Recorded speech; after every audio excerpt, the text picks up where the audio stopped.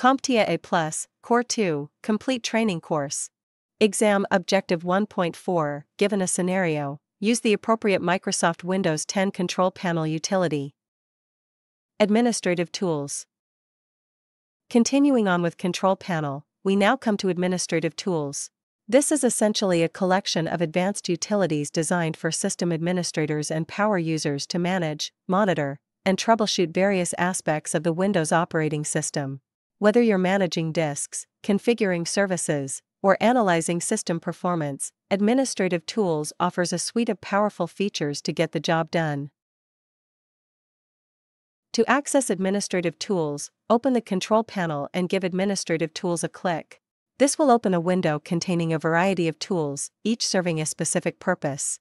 Now most of these tools have already been covered earlier in this course, so just note that this Control Panel utility provides yet another way to access the various Windows administrative tools.